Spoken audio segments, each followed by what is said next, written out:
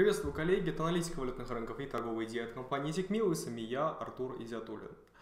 Сегодня понедельник, и рынки сегодня отыгрывают пятничный отчет Non-Farm Payrolls. Это отчет по рынку труда в США, который был опубликован в прошлую пятницу.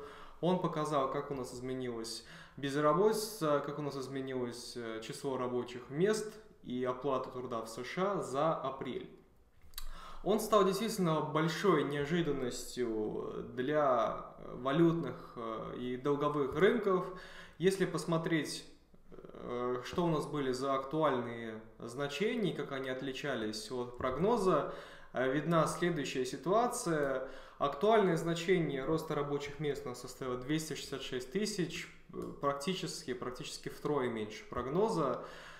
Уровень безработицы очень неожиданно повел себя, он вырос, хотя вот он последовательно, последовательно все отчеты несколько месяцев, там месяцев 6-7, там ни разу не было такого, чтобы а, безработица показала на негативный сюрприз. Постоянно она была лучше ожиданий. И, собственно, а, так как у нас э, есть э, экономисты, которые предсказывают как у нас поведет себя рынок э, труда, нужно также посмотреть вот в рамках их прогнозов э, вот данное значение, то что вообще. Собственно, по, а, из, из 50, из более 50 опрошенных экономистов Bloomberg, лишь двое из них э, предсказывали значение меньше 800 тысяч. Все остальные, у них там прогнозы варьировались, там миллион, 900 тысяч и так далее. То есть даже самые пессимистичные оценки, а, они, они были мимо, они оказались э, несостоятельными, потому что вот такое вот значение. Конечно же, та, такой отчет он не мог не спровоцировать рыночной реакции по всем классам активов. Мы увидели какие-то движения, в частности, если мы рассматриваем индекс доллара, была вот такая вот э, реакция на отчете, он вышел, индекс доллара у нас получается, за вот этот диапазон, который он ну, достаточно долгое время находился, около трех недель, причем он уверенно ушел ниже, и сейчас тестирует а, уровень в 90 пунктов, причем, скорее всего, он его пробьет, потому что у нас кардинальный сдвиг по ожиданиям произошел. А именно, а, у нас, если вы помните, до, до релиза отчета инвесторы, в частности на долговом рынке, они все ждали от ФРС намека, что регулятор начнет раньше сворать, начнет раннее сворачивание стимулов, в частности, а, начнет сокращать объемы количественного смягчения, программы количественного смягчения. От этого ждали, от, от ФРС ждали, собственно, заявление об этом на июньском заседании. И вот, собственно, э, вчерашний отчет, он положил конец вообще вот этим надеждам, слухам, которые были относительно вот этого июньского заседания ФРС. Потому что при таком росте рабочих мест, да, который не только прогноз не удовлетворил, а намного меньше прогноза, оказалось, у ФРС появляется надежное оправдание вот этот статус-кво в отношении низких ставок УЕ поддерживать да, говорит, что мы вам сказали, что ставки не будут э, повышаться длительное время, мы не будем менять КУЕ. Собственно, сейчас вера в это укрепляется после вот такого вот отчета. Собственно, на долговых рынках у нас произошли соответствующие перемены. Доходность у нас, э, реальная доходность в США, она у нас снизилась. Сейчас мы будем разбирать, что это значит. В целом, если рассматривать гарантии низких ставок ФРС плюс а, инфляцию, которая у нас есть сейчас на сырьевых рынках, которая может сейчас распространиться дальше на конечные цены, это все означает, что э, инфляционные риски для долгового рынка, они сейчас снова будут очень актуальными. Сейчас банды у нас опять будут отыгрывать а, какие-то новые инфляционные риски, потому что ФРС держит ставки на низком уровне, с другой стороны идет у нас волна инфляции издержек за счет вот этой сырьевой инфляции мощной, которая у нас наблюдается. Собственно, вот, вот, вот эту сырьевую инфляцию очень хорошо показывает э, следующая картина. Это у нас фьючерсы на э, железную руду. Вот такой вот у нас параболический рост с апреля происходит. И если мы, собственно, посмотрим э, чуть э, ну, ближе возьмем таймфрейм, А у нас вот в понедельник произошел вот такой вот гэп, плюс 8% еще дополнительно. И понятное дело, да, это у нас основной как бы металл, который в строительстве используется, в промышленности используется. И если вот по нему мы видим вот такой вот рост, плюс 7, плюс 8 процентов в день, постепенно, постепенно эта инфляция вот на, на, в сырье, рост цен, она постепенно будет просачиваться по, в производство, по производственной цепи, будет выше, выше идти и дойдет до конечных цен. Все это сулит более высокую инфляцию. И рынки сейчас, естественно, склонны закладывать э, ускорение инфляции, которое будет проистекать из инфляции издержек. То есть э, из-за э, роста цен на энергоресурсы, из роста цен на основные металлы, там, э, которые используются в строительстве, в промышленности и э, так далее. Это все у нас будет, это все будет приводить к инфляции. И она проистекает у нас именно из инфляции издержек. Естественно, долговые рынки об этом обеспокоены, и мы, собственно, видим это из э, следующей Следующая картина это у нас э, инфляционное ожидание, рыночное инфляционное ожидание на 10 э, лет вперед.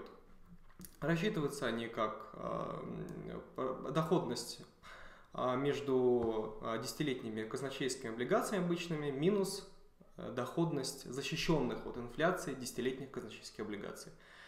Понятное дело, разница в доходности будет э, составлять вот эту премию, которую готовы платить э, участники рынка для того, чтобы защититься от инфляции. Вот, собственно, эта премия, это вот этот график, который мы с вами сейчас видим. Он у нас вот здесь обновил, получается, новый максимум, составляет он сейчас 2.49, был 2.45, после отчета стал 2.49, лезет вверх у нас рыночная ожидание э, инфляции на рынке, все это происходит потому, что, еще раз, ФРС у нас после такого отчета еще больше укрепится в своей терпеливой позиции по отношению к QE низким ставкам. С другой стороны, у нас есть вот эта а, инфляция издержек, да, которая в конечном итоге выльется в инфляцию конечных цен. Сейчас это рынки склонны заранее, заранее закладывать долговые, поэтому видим продолжающееся увеличение инфляционных ожиданий. Все это говорит нам о том, что э, если у нас растет инфляционное ожидание, э, реальная процентная ставка, то бишь номинальная ставка минус инфляционное ожидание, они, она у нас будет э, дальше снижаться. И, конечно же, для, для доллара это перспективы такие себе, потому что если инвесторы видят, что реальная доходность, которую они получают по долговым инструментам в США, она э, все хуже и хуже, все менее привлекательнее, то будет стимул что делать? Будет стимул искать доходность либо за рубежом, да, либо в альтернативных классах активов. Альтернативные классы активов это у нас самое основное, это у нас акции, Зарубежные банды это у нас Европа, Великобритания и так далее. Собственно, в первом случае это у нас будет, э, вот, эта, вот эта динамика, она у нас будет вызывать дальше пузырь на фондовом рынке, потому что, опять же, переток в альтернативный класс актив, потому что все хуже и хуже в бандах реальной доходности, все меньше и меньше. Плюс, плюс это будет обусловливать валютные потоки. Валютные потоки именно из американских активов, да, инвесторы бегут, стремятся в активы, которые находятся вне США, в банды, которые находятся вне США. И это а, сопровождается тем, что а, выходят из американских активов, покупают, обменивают доллары на иностранную валюту, это все вызывает давление на американский доллар. Все это, все это рынки у нас склонны учитывать заранее, поэтому мы, собственно, видим у нас по SP 500 новый максимум вот здесь, закрылся он около нового максимума, там 4234 что ли был, вот 4232 он закрылся. Сегодня у нас также такая расслабленная, спокойная динамика, ничего не предвещает беды. Ну почему? Понятно, да, дело. Рынки фондовые получили желанную самую, что на есть, благоприятную комбинацию из экономических условий. Низкие ставки ФРС, то есть дешевой ликвидности, гарантии, что она продолжится долго, Плюс более-менее умеренные перспективы роста, нет рисков э, того, что э, медным тазом экономика накроется и нужно будет бежать из рисковых активов. Здесь, с одной стороны, низкие ставки, с другой стороны, низкие риски по экономике. Что еще нужно для роста? Все, все складывается так, как это необходимо. Поэтому видим вот такую расслабленную динамику вверх. дальнейшее покорение максимумов. Ну, я думаю, это, это, будет, это будет продолжаться. А, как бы нет причин сейчас э, рассчитывать на, на, на какую-то на какую-то коррекцию, потому что все складывается в пользу роста. А, по крайней мере, два основных фактора мы а, с вами убедились, да, что они на руку будут фондовым инвесторам играть. Что касается э, валютной динамики, мы вот видим, естественно, обрушение доллара, э, так как ситуация с реальными ставками э, в США становится все менее и менее привлекательной, стимулирует, так сказать, доходность за рубежом.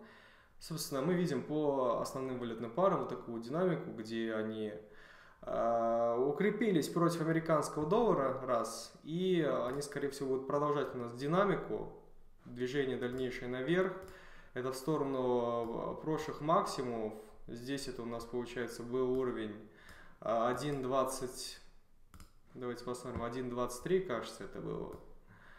Да, это, это был у нас уровень 1.23 вот здесь. Э, мы, значит, будем двигаться дальше к, к этой цели. Это все как раз-таки э, обусловлено тем, что доходность, поиск доходности будет осуществляться инвесторами прежде всего за, за, за вне США, в других каких-то активах, в европейских, Великобритании и так далее. Все это будет там происходить, и это все будет обуславливать движение валютных потоков, которые будут не в пользу доллара. Поэтому э, рассчитываем, на мой взгляд, на дальнейшее укрепление оппонентов доллар против него, соответственно, по американскому доллару. Э, я вижу дальнейшее снижение вниз, так как мы пробили вот этот диапазон, да, о котором, мы с вами, о котором мы с вами говорим, мы пробили вот этот диапазон, ушли ниже, и, собственно, ну, следующая отметка это 89.68 по индексу. Там это вот один из предыдущих минимумов. Там мы будем искать хоть какое-то сопротивление. Пока э, движение вниз на вот этом моментуме, пока рынки учтут вот этот э, non-farm payrolls, да, пока вот сейчас вот эта ситуация с инфляцией на долговом рынке, пока она вот достигнет своего размаха всего это все займет время, и валютный рынок будет это все реагировать, как мы уже с вами сейчас проанализировали. Реагировать будет именно негативно для американской валюты, на мой взгляд, по крайней мере. Поэтому рассчитываем на какие-то дальнейшие а, покупки оппонентов доллара по, по евро-доллару уровень 1.23 у нас, по фунту, который сейчас очень так неприятно сильно поднялся вот здесь, да, какой-то крупный, прям очень сильный закуп сейчас происходит. А, конечно, вот после таких движений, когда особенно моментом выходит на действительно очень экстремальный уровень, покупать, конечно же, как-то рискованно. Сейчас все это понимают, поэтому ждем какого-то движения резкого вниз, сюда, да, допустим, на уровень 1.41 примерно, и уже отсюда э, как-то рассмотрим какие-то покупки, может дождаться чуть ниже, уровень 1.40-50, дождаться сюда и уже затем заходить вверх, потому что ну, не очень комфортно на самом деле, даже в среднесрочной покупке по перспективной, э, на перспективном тренде вставать вот после таких движений. Хочется, конечно, дождаться более каких-то умеренных, комфортных значений, поэтому давайте вот будем ждать. Но в целом, в целом вот э, ситуация обстоит так. Еще раз, да, резюмирую. Отчет Non-Farm Payrolls, он обеспечил э, ФРС вот этот статус кво, Э, то есть э, непоколебимую позицию э, по низким ставкам и по количественному смягчению.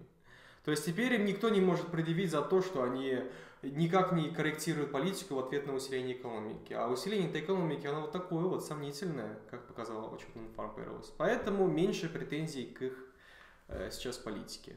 Это вот мы с вами обсудили. Второй момент – это сырьевая инфляция которая сейчас особенно хорошо прослеживается в э, цене на фьючерсы на железную руду, да, которые растут такими темпами.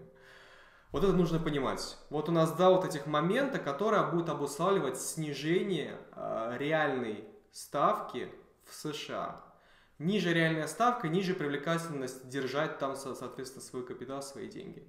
Это будет стимулировать поиск доходности, скорее всего, за рубежом, где более привлекательные, а, более привлекательная комбинация из политики ЦБ и из э, инфляционных ожиданий, да, которые там есть.